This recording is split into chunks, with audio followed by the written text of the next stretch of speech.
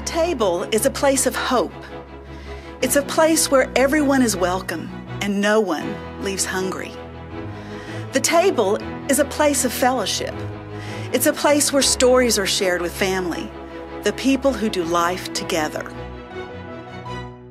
The table is a wonderful symbol in Scripture of a gathering place, a place where we're invited to join our host who sends out an invitation to join him at his table.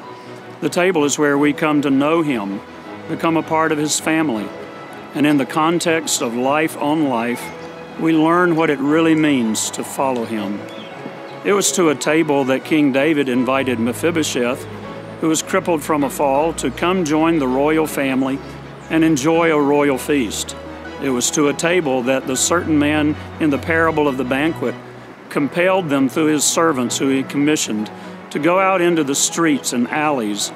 And to a table, Jesus invited his closest followers to join him as he shared the symbolic elements of his broken body and his shed blood even though he knew they would all betray, deny, or desert him that same night.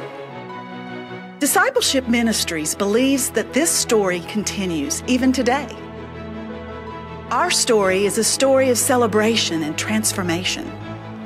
The Lord has been shifting our focus to encompass all generations by inviting them to take their place at the table.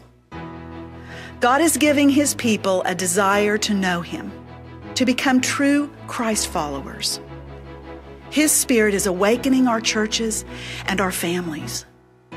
He is forging bonds of community and a shared vision across all levels of leadership. The Holy Spirit is restoring relationships and empowering families to become spiritual leaders. We are joining together in purpose and strength Discipleship Ministries is committed to meeting the needs of the local church.